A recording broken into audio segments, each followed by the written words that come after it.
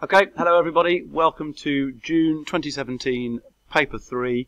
Um, we're going to go through question 1.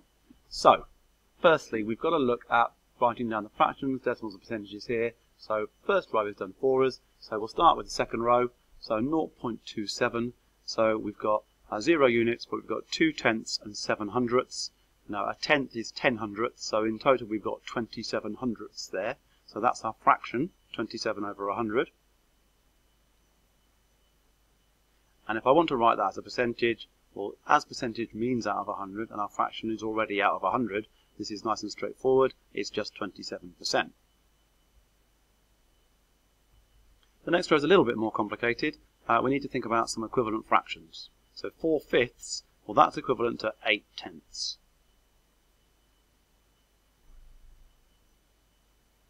Okay, so our, we'll do our decimal first. So we have our units column and then our decimal point and then the next column is the tenths column. So we've got 8 tenths, so it is 0 units, 0.8.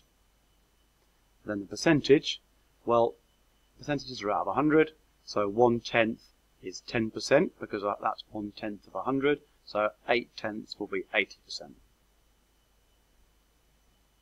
And the final row, uh, 3%, so again, percentages out of 100, so we'll do the fraction first. So it is as simple as just saying 3 out of 100, 3 one hundredths. And then our decimal, we've got 0 units. And then we've got, careful here, because there's no tenths, so we need a 0 in the tenths column. And then 3 hundredths, so 0.03. Question B. So 45% is a fraction. So going back to the idea that percentages are out of 100, so 45% is just 45 over 100. But we need to then put that in its simplest form. So we look for a number that divides into both the numerator and denominator. In this case, that will be 5. So 45 divided by 5 is 9. So our new numerator will be 9. And 100 divided by 5 is 20.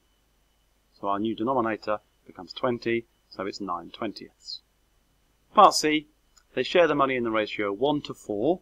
So that means Alan's getting one part, Brian's getting four parts. So there's five parts altogether. So it's going to be out of five.